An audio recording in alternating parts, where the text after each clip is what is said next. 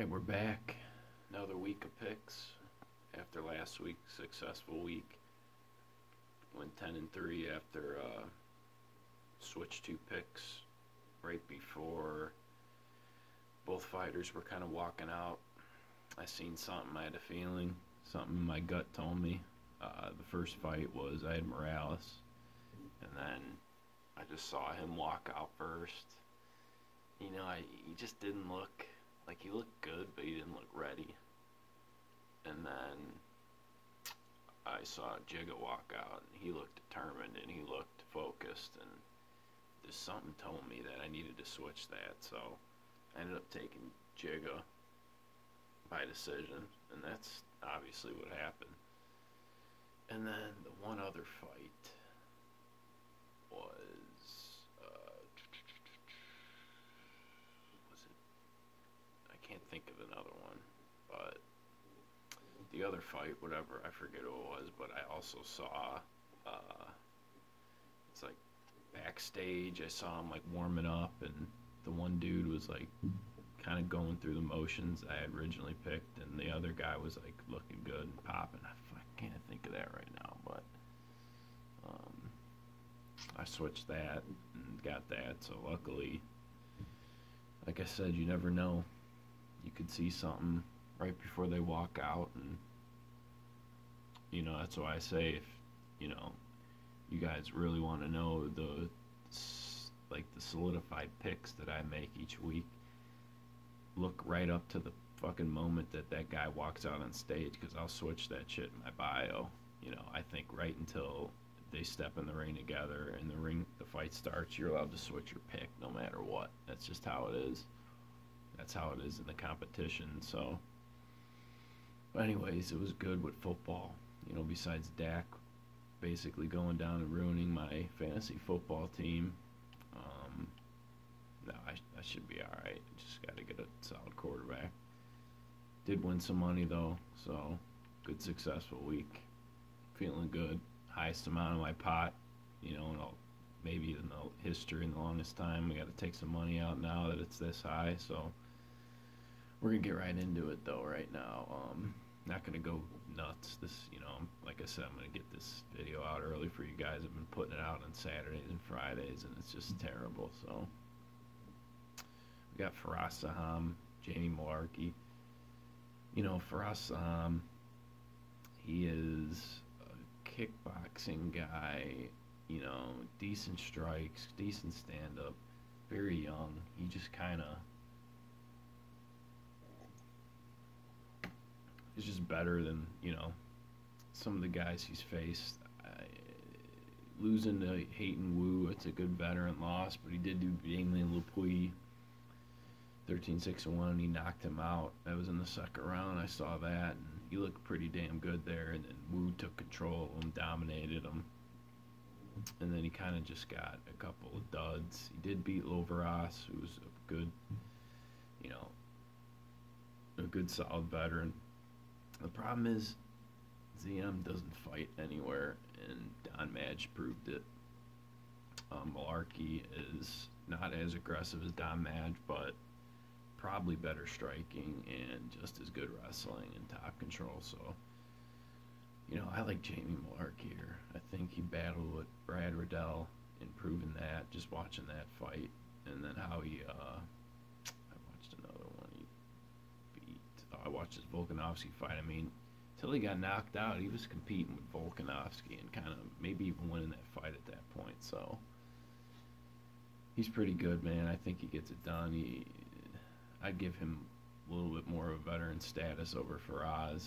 You know, I think he's got the wrestling advantage. So I got Jamie Mullarkey. I'm to take him by decision. Second fight up, we got. I'm going to have to fly through this. Said Nurmagomedov and Mark Striegl. Mark Striegl, very top-heavy wrestler guy. Likes to spam wrestles, takedowns just like Khabib decent chain wrestler, not amazing, but he can he can chain you.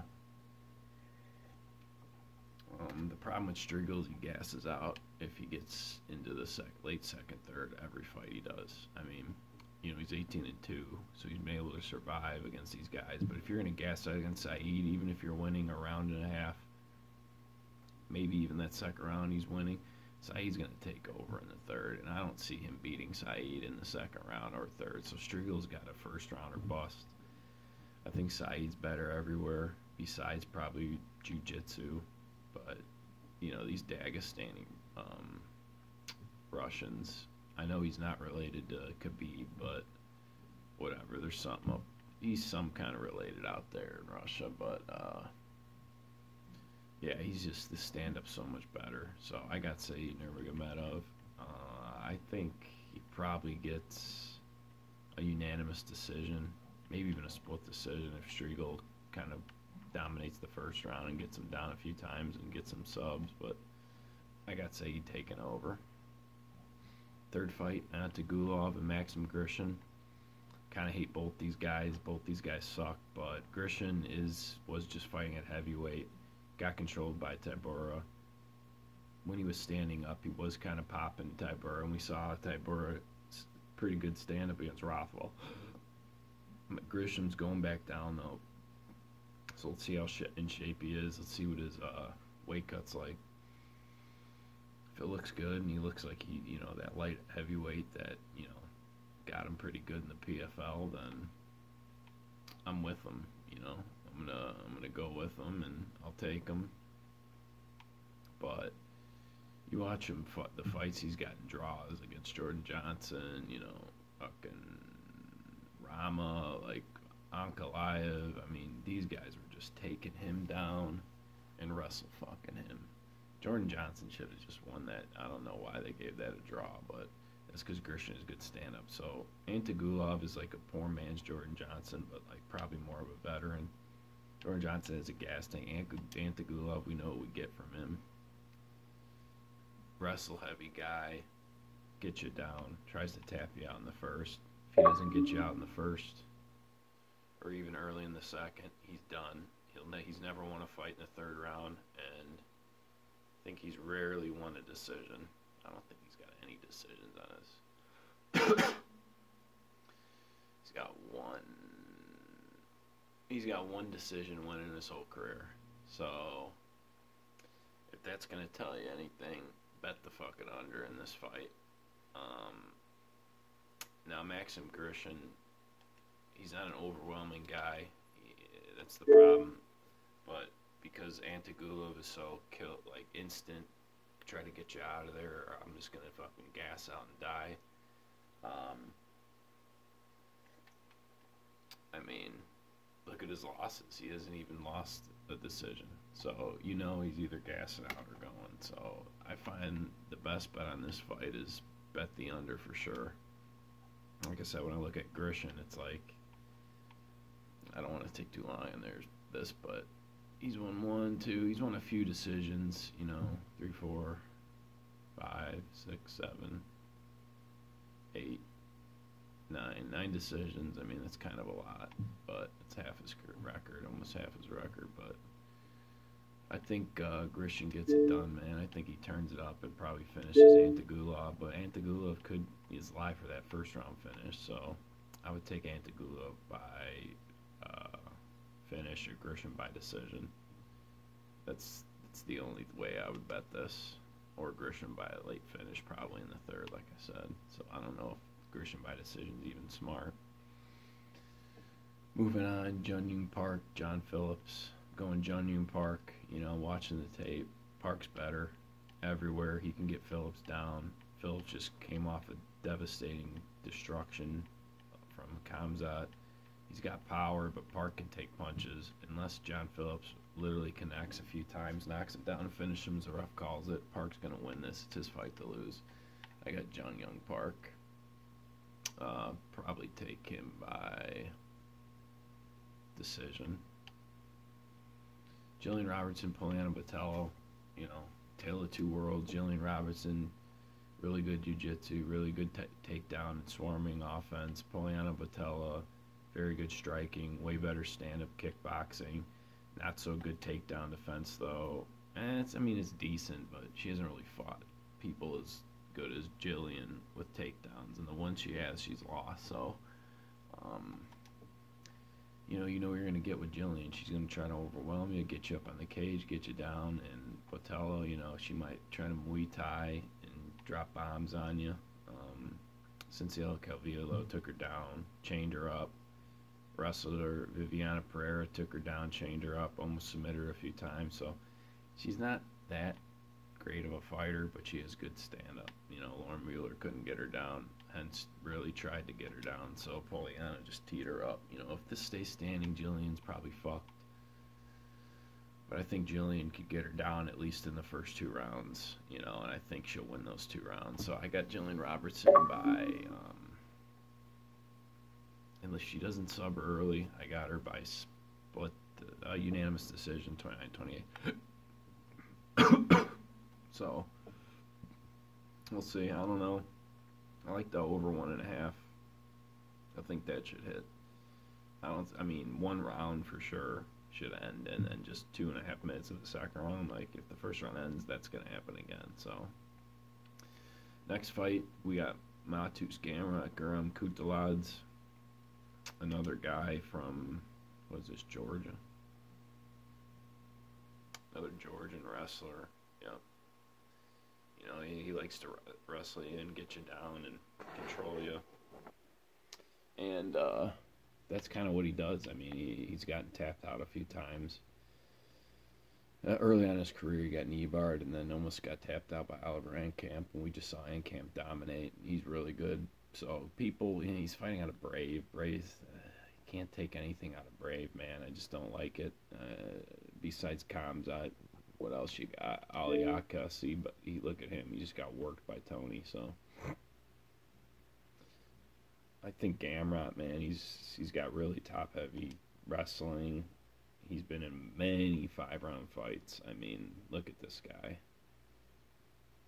Um, one, two, three.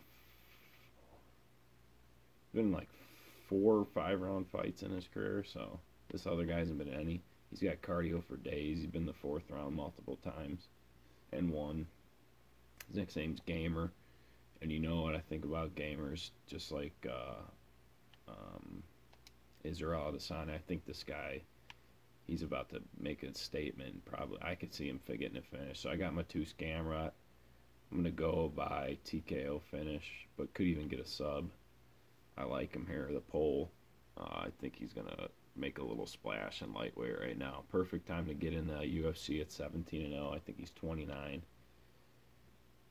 ATT Wrestling. He's ready to go. Let's get it. Next fight: Claudio Silva, James Krause. This is a tale of two tapes as well. James Krause, man, he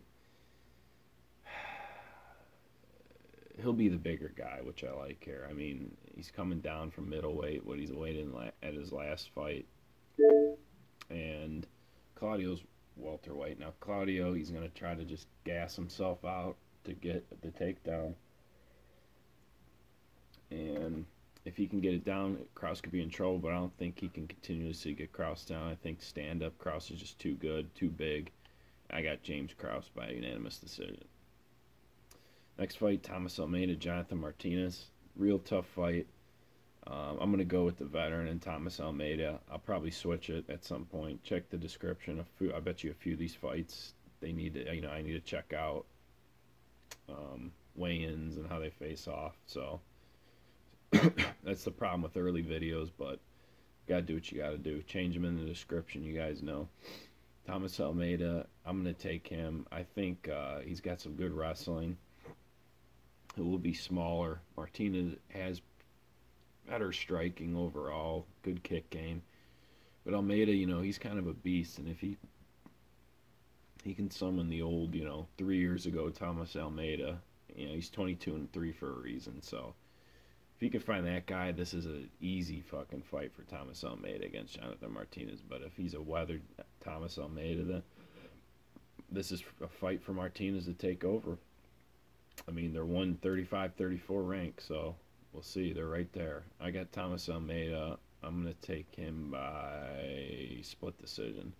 Jimmy Crute, Modestas Bukauskas. I was high on Bukauskas last fight against the Greek. Fucking rolled the Greek.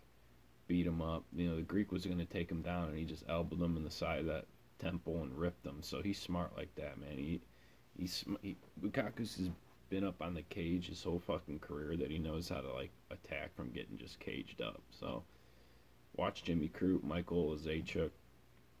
He's basically a, better Modestas Bukauskas, not as big, not as rangier, but better overall fighter better takedown defense, and Jimmy Crute out that guy and tapped him out. I would not be surprised if Jimmy Crute just does the same thing. Probably gets a head and arm choke on Bukauskas, maybe even possibly like uh, Kimura again. But I got Jimmy Crute by sub. Um, I think he probably get it in the first round, maybe even in the second. Yeah, I mean, you know, this guy's been heel hooked. He's been KO'd. I just think Jimmy Crute's way better. He's not as good stand up, I would say, but he's way better uh, takedown and everything. Bukauskas is real bad takedown defense, so I think it's like 60 something percent for his career. It's not good. Jimmy Crute's going to spam your ass. I got Crute, though. Final three fights, we got Ch- Katlyn Chookagian, Jessica Andrade. This is I was back and forth. I'm just keep going back and forth. I'll probably switch it because I was thinking Chookagian, five foot nine, five one. But you know what? Jessica Andrade can take punches. She'll go head over heels to get Katlyn up on the cage. She'll pick her up. She'll drop her on the with those limbs if she can get her up. But Andrade is so strong, and she's gonna have ten more pounds of power. Let's see how she looks. Hopefully she's not flabby. If she looks good, I think uh, she could finish Katlyn Chookagian. If not, she probably gets unanimous decision. So I got Jessica Andrade. And for the co-main, we got Ciryl Gane, Ante Delija. this is tough, man, because Ante is that veteran, that you know, veteran kind of Croatian crazy fucking fighter, and Ciryl Gane, we know what he is. Um, the line's insane, so I wouldn't bet it at all. But I think, uh, ah, damn, that hurt. Fucking did chest yesterday. Uh, don't have a sore chest and cough. It kills you. Strains you. But uh, I got to go with Ciryl Gane. He's probably going to lose. I don't know. Don't bet it. But it's a heavyweight fight, man. Anything can happen. Ante's a veteran. I'm inclined to maybe even take him. But when I see them at weigh-in, Ciryl's going to look good. So, you know, let's just see what happens. And, you know, it's kind of a 50-50 fight for me, I think. But I Betting wise, if you want to bet it, take Ante. That's probably about it. Or the fight doesn't go to decision. We got the main event. Brian Ortega, Chan Sung Jung. Another tough one, but I'm going to be what kind of a lot of people are on him. Chan Sung Jung, he's the hotter fighter. He's fought more recently. Ortega's come off a two year layoff. You know, after the beat down of Max Holloway. And listen, man, it's just. Uh, Ortega just got exposed and Chan Sung Jung, he's not as good as Max, but with striking, but he's more powerful and only has one less significant strike. So besides Ortega getting something flashy like a KO or maybe a standing guillotine or something on Young, I think this is Young all day. He's going to be the bigger fighter as well, um, more range. I just think he, he's kind of better everywhere. Even at jiu-jitsu, he's just as good. So I got Chan Sung Jung. I got him by. I got him by TKO, maybe doctor stoppage. Um, and we'll see. I mean, I like Ortega. I wanted to take him, but I gotta think with my brain and not my heart here. So, uh, as far as a parlay, I think if you do mm, Saeed Nurmagomedov, the over one and a half, Robertson, Botelho, uh, Mateusz Gamrot, uh, Jimmy Crute, and Jessica Andrade. If you kind of get all them, maybe finish it with Chan Sung Jung, but a couple of those guys in a parlay, you should be good you know, take some shots maybe on even Jun Yong Park could be solid, man. But you know, Jamie Mullarkey, there's a few out there. I there's some sleepers that I'm gonna try to win some money on. So other than that, you know, send me uh, you know your picks in the comments. Let me know what you guys think. You know you disagree with, and uh, either tomorrow night or Thursday. Probably going to be tomorrow night. Uh, check uh, me and Arkansas out on our um, uncut show. So on his channel. Uh, other than that, have a good week and good luck.